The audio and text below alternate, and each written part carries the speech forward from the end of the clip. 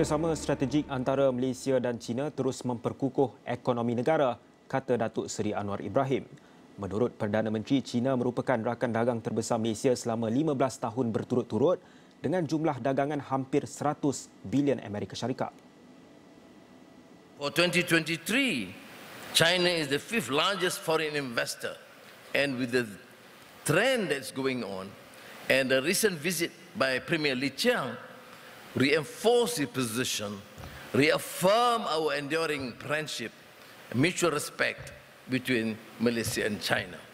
We, for example, together with uh, Premier Li Qiang, we uh, witnessed the signing of the second cycle of the five-year program for economic and trade cooperation and the MOU of strengthening investment in co uh, cooperation in digital development between both government of Malaysia and the government of the People's Republic of China.